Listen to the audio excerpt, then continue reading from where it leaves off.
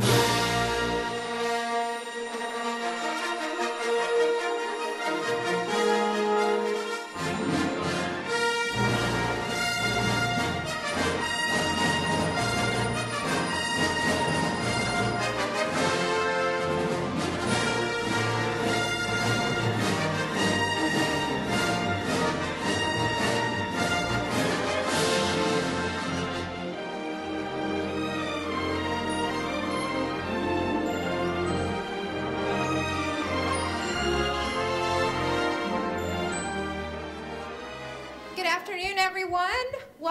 to the last PIO pitch session of our fall semester. We are very, very excited to have you here today, and we have two great presenters that I know you're going to find really exciting. So, with that, I am going to turn it over to Brianna, who will be introducing our first speaker. Our first presenter is Martha Jones. She is the owner of Faces by Design and founder of FBD The Academy. Hello, everybody, and thank you for allowing me to be here. I started Faces by Design 18 years ago. I came uh, from Colombia, South America, and believe it or not, I was a mail order bride. It didn't work out, but it got me here, and uh, when I got here, I decided that I needed to start a business because I had had a child, and I needed to be responsible for my kid. So I started doing what I know to do best. Two things, skincare uh, I have a degree on uh, paramedical skincare. That's a career that doesn't exist in the United States, but in South America, it's a two-year program that prepares people to work on the integrity and the health of the skin. We're not anti-aging, and we're not going to make you look 10 years younger, and it's not about makeup, it's about health. I added a new service, which I am really good about. It is called permanent makeup. And what it is is a form of tattooing, and I tattoo eyebrows, eyeliner, and lip liner. So I've been doing this for over 30 years, and it has been a very successful business here in the United States. I am going to be 50 within two weeks, and I have decided that my career has gotten to a new path and that I need to start looking to a new moment in my life, a new purpose. And I decided that I am going to go into education, and I have decided to start what we call FBD, the Academy. So this is where I am stuck. And this is the challenge that I need for you guys to help me. I'm looking for a team that is young, creative, very, very talented. I like crazy ideas. I am a person that likes to think outside the box. So I need a group of people that is willing to create a new corporate image for me that is going to be young enough to target the market that I need to target which is young people. This is a, a career that gives a lot of financial independence to whoever follows this path. So it's going to be a person that is going to be totally self-sufficient. I need a group that will help me to put my business, my idea, my way of thinking, and my goals in the digital media. I am 50 years old. I don't know anything about Twitter, Instagram, whatever Snapchat and all these things. And of course, uh, Facebook is a very strong tool. But I am 50 years old. I don't know what the tools are out there to capture new market, new young students. So I need somebody that is willing to put that package together, a corporate presence that is going to be impacting, that is going to be strong, that is going to be credible, that is going to be sassy, talented, that is going to be very modern, very elegant, and that is going to represent what I believe in. I believe that women are capable of developing their own future. I believe in education. I believe that one skill, if you develop one single skill in a wonderful way, that is your way to live. So I am the typical example that if you love what you do, you will never go to work one day of your life. So um, if somebody is willing to put a group of ideas, a package, and present it to me, I'll be thrilled because I am stuck. And plus, I have a lot of work responsibilities with my current business, so I need uh, help. So that's what I need. I hope this is a challenge for you guys and that you can help us out and bring a lot of cool things to the table. So um, I think you have a really great, like what you're asking for is really great, and I think it's really complete, this package that you're looking for. So you may consider speaking to some of our business and economics faculty to see if some of our marketing students or management students who are looking for a capstone project may be willing to help you and potentially work closely with you to develop that idea and get a more inclusive concept. I'm not saying they'll work pro bono, but it's for college credit. So I had the opportunity to work with Marietta College before, and I have a group of students that developed the corporate image for Faces by Design the first time. And when they did the presentation, I got to tell you something. They did the whole analysis. I sobbed and cried the whole presentation because they did a beautiful job. So I have a huge faith in all the students and all the creative ideas because the first time it was a great, great, great experience. It was awesome. My first question was internships. And I know pro bono sounds uh, a really hardcore word. you won't have a lot of benefits, but you can get facials and chemical peels done if you want to. I like the trade. That's the way the world works nowadays. So I'm welcome to interns, people that wants to come and talk to me and see, okay, what do you need and how can I help you? And we can definitely um, cooperate with uh, your experience at the college. I direct the Career Center here at Marietta College, and I'm happy to work with you on finding interns. And I wanted to make you aware that we do have a, a grant program where we could actually help cover the costs and potentially pay your intern. Oh, that would be great. So, um, take it. students, if you're interested in, in Martha's project, please see me because there's there's some eligibility that the students have to meet in order to participate in the grant. And once I get interested students, then I can certainly forward their resumes to you, and we can try to make this happen. I think showing that, you like videos of that, how much you enjoy it, what you do on Faces by Design's website and stuff, or on that site will maybe help encourage women to, to go in that field. Maybe if you can have a connection with a career center, like um, Washington County Career Center or something, to get high school girls involved in your program. The Career Center is very independent and is also through the school. So the girls go to the Career Center, but we are trying to invite them to do the aesthetics part on our academy and do internships too through Faces by Design, the academy. Can you elaborate on like some of the services you offer at Faces by Design? If you explore a page, there's always an explanation of all the services. However, I have a completely different view of about skincare. There's no cookie cutters when it comes to skincare. Every person is individual, so we customize everything that we do to your specific needs. We explain everything that we do, but we don't put a price on a service because everybody is unique. So your needs are specific. If you go to the website, you will find everything. I am looking right now for interns. Uh, when it comes to what I'm doing right now, I need for somebody to uh, working on our corporate image. How I am going to put my company outside to the public, and how can I make this company present in the digital media? That's what I want. I want the cyberspace. I want where kids are, where young people is researching, which is the websites that you guys research every day. I don't have those resources because I am on a different page of my life. So that's what I need somebody younger that is looking into this market to see where can I take my life or where can I find new career options. I'm going to be 50 in two months. And I'd say I, I watch Jeopardy almost every night. And your your company is like one of the companies I'm most familiar with, like the last however many years, because I see your commercials all the time. And so, as as you were to, um, describing what you're considering like your new challenge, I was curious: is this simply that you're trying to grow the market share? You're trying to reach out different means of communication, or if you get new different types of customers, are there certain services that you would expect? To grow additionally, I mean, like I'm what? What's the what what's the purpose? right now, my purpose is education because I need to pass my trades down. I am very good at what I, I do. I am excellent at, at training and teaching. With knowing that I only have probably another 10 years of capabilities for my career, when you turn 50, you start challenging yourself and thinking, what if I get sick? What if, uh, what if my husband retires? What if my, there's so many what ifs. So uh, right now, I'm just looking to pass my, tar- my torch down, my legacy, and be able to empower and generate a new group of women or men that want to develop a very self-sufficient, lucrative, independent career. I am not teaching you how to do permanent makeup.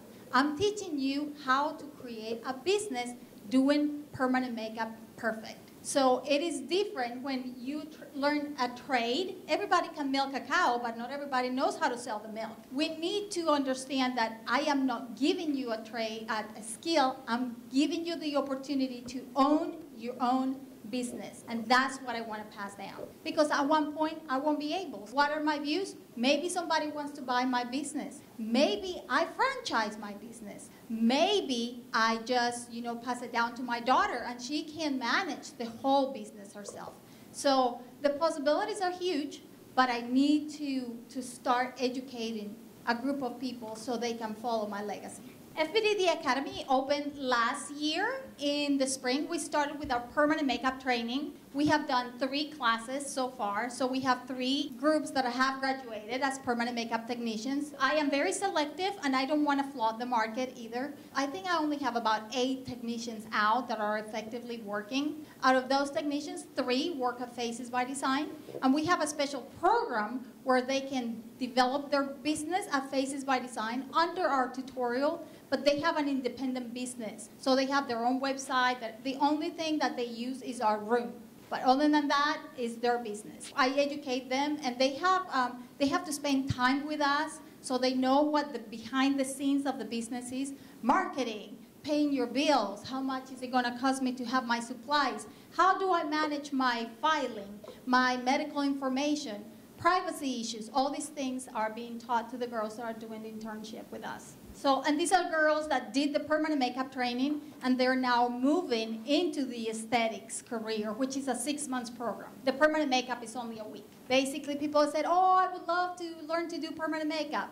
So I have technicians that have worked with me for many years, so I gave them the training, and then we have people that is just interested in starting their own business. Ultimately, the main goal that I have is to franchise. That will be my dream. We just take one step at a time. And I think education is the foundation for a good franchise. If you have a good teaching training program for any company, your company will thrive. Where is the closest schooling that's doing any of the similar type of training well, that you're doing? One is Preston's Academy, and the other one is uh, Artisan School in Parkersburg, which just now opened in Marietta. There is a big difference. Preston's Academy, there are training cosmetologists. They don't have a, a very specific esthetician program. Neither does Artisan because everybody goes into cosmetology. So my program, what makes me different is that we are a unique a specific program for medical skincare. So instead of training girls how to do facials, I am training my girls to work at the same level of a med medical practice. So they can go to a plastic surgeon, they can go to a dermatologist, or they can have their own independent practice. It is different, it is a longer program, it's a lot more intense, and we touch on topics that are deeper and a lot more intense than what we you will learn at the cosmetology school. So we definitely are at a different level. And at that level, the closest academies are probably Columbus, Akron. We are very different when it comes on times and schedules and prices. There's nothing around this area in the Mid-Ohio Valley that has a specific skincare school. About how old would you say like the vast majority of your students are? It depends. There's girls that want to do the class, but when it comes to the student selection, when it comes to picking the right individual, we have to be very selective because I don't want to just recruit everybody in the book and end up with a very short, a very little group that is going to follow up with the education. So I'd rather pick somebody between 25 to the 45 years old that are independent. They have limitations when it comes to education. The advantage of the school is that it's a part-time schooling. So you only come half part-time and you get a full career within six months and you can start working right away. Even if you do it independent or if you find yourself a job on a salon, a spa, medical practice. So the possibilities are very good. But I like to, to recruit somebody between 25 to 45 years old. The problem that we have is, and I am a believer in learn a skill. I, I believe to learn to work with your hands, and that skill will take you places. That's what I believe. So this is a hands-on job. It's a, a, job that is dedicated to touch. Targeting the high school girls is great. Targeting that kind of market is important, but I've never explored that market because I'm out of touch. I, I, I don't know how to get to the schools. I don't know how to get to, to them. I can reach my 25 to 45 because I have my, my database on my customer client database. And I have my Facebook page, which is very uh, specific to a group uh, age. And, but to reach high schoolers, I, that's where I'm lacking. And that's what I need to go. You graduate from school, you go to college, and then halfway to college, you decide, oh, maybe I want to change my major. And then, oh, maybe I want to change my major again. And at the end of the day, you decide, uh, this is what happened to me. My mom wanted me to go to school, and I have a degree in social communication and journalism with a master's on graphic design. And then I graduated and said, my mom, Mom, I want to go to beauty school. And that was bad. My mom was so mad. So, with that being said, this is that place where you people start kind of veering and teetering with where am I going to go? What I want to do with my life? And, and you find out that you're better with touching and you're better with customer service and you're better with talking with people and, and serving to people that probably being stuck behind a computer or a book or a research center. This is a market that is very uh, popular because it's a time where girls make a lot of decisions. Uh, like I said, I'm out of touch. I haven't reached out. I don't know where to go. I don't know how to start. I don't know how to present it. I don't know how to target parents to tell them, hey, your daughter wants to be an esthetician and it's going to cost you this amount of money. So um, I don't know how to support to the parent, oh, let your daughter go to be an esthetician because she's going to be able to make this amount of money if she sits in her room and she does three facials a day. This is the kind of things that I need put together in a whole package so I can go with a very complete presentation and say, listen, this is what I have and this is what I can offer to you. My goal is that once we create a corporate image and a marketing plan and everything that hopefully I can get out of you guys, I can have an open house where I can bring parents and ladies and everybody that is interested in taking on a new career and present all the research and all the little things that you guys have created for me. I'm just thinking, I would be afraid of if doing your research and getting into this at your age and stuff, that I hope it just, the expenditures of it doesn't drain your, your business. My funding? Yeah. Well, there's nothing to drain. We have zero cash. And I'm not saying that there's no funding available. At, at the moment of need, the cash shows up. I am a great believer in God over everything, and I believe that He's taking care of everything. But first, I need to know what am I doing? How am I going to do it?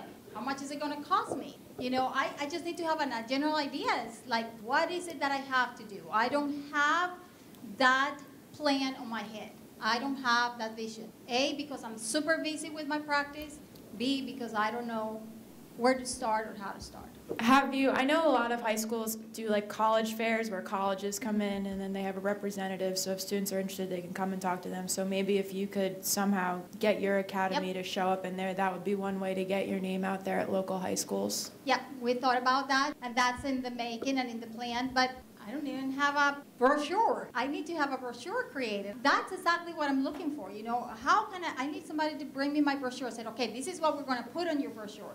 You can have a signing card. This is what we need to put on your website. That's the kind of, of forms and figures that I wanted to develop. But I think it's such a good experience for anybody to be able to work hands-on on a practice and see the nitty-gritty of the reality of businesses, where there's sweat, tears, joy, laughter, cuss words, anxiety, stress, everything that it takes into a business needs to be learned. Our, our next presenters are going to be Sarah Myers and Bill Greiser, and Bill is the founder and the owner of the Greiser Castle.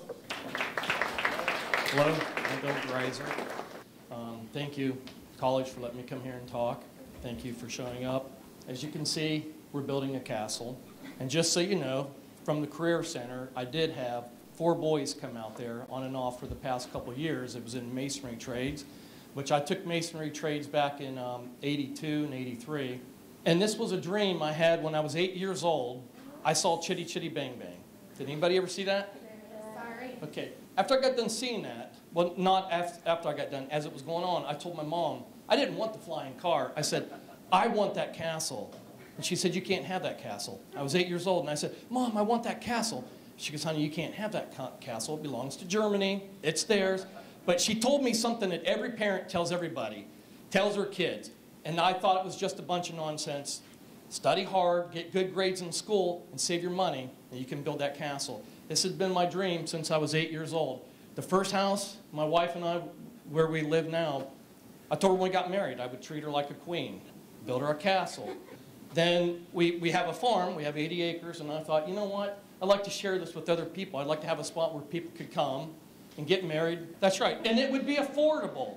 It would be affordable, where you can get married in a castle. And you can have an event at a castle. You could have a graduation party, or you could have princess parties, or a prince party, or just, you know, that, that was my dream, was to be able to share it with the community. And I've, I've been the past uh, two years working and building on this. And it's taken us a long time because I've done it all with all my cash that I'd worked for. I started my own business when I was uh, 21. It's Modern Pest Control. And again, I had saved and saved and saved and saved my money. And I remember my mom was so mad because when I was 18, I didn't go to the prom. She had $200 for me. And she's like, Billy, here's this. It's for the tux. It's for all this and all this. And I said, can I spend it how I want? And she said, yes. I bought 400 concrete block. They were 50 cents a piece, and I just had them on the pallets, and I would just stack them, and I would just store, and I'd just store. And I'd be driving down the road, and they'd be tearing down a house, or they'd be doing something. Sir, can I have those concrete blocks? I'll clean all this mess up if I can have those blocks. And I just kept saving in a pile, and I'd go down and count them and think, I've got a 1,000 block. I've got 2,000 block. I got 4,000 block. We've already laid about 46,000 block, and we've got about three more thousand to, to go on the front gatehouse. We've left the front open so we can back in and uh, pour all of our concrete and stamp our floors. But my goal is, one, what I'd like to ask you guys is, I do not do anything on computers. The closest, this is the only computer I have is on my side here, and I do know how to use eBay, but I don't know anything else. And I would like to, somehow I've got to get it to where I can have, um, I did go to Parkersburg to a bridal um, wedding ex extravaganza, and all I did was just show people my cell phone. And I was like, hey, if you got married, would you like to get married in this castle? And they was like, oh, yes, absolutely. Is it open? And I had 40 women that absolutely said they wanted to get married. I had mothers that would come over to me and they'd be like, um, how about, um, when will it be open? When will it be open? We could just cancel. How much is it going to cost? And I was like, I'm not ready for all that yet. I, and then I had a guy contact me. Has anybody ever play the game Dungeons and Dragons? I had a person contact me and he said, you know, it'd be awesome, dude. Do you do anything like that out there? He goes, can we do reenactments? Can we come out there and do this and do this and do this? And I was like, but I said, we're not open yet. He goes, just let me come out. I said, you can come out and take a look at the place. And he goes, I'd like to do the layout. And, and I'd like to do this and tell you what I'd like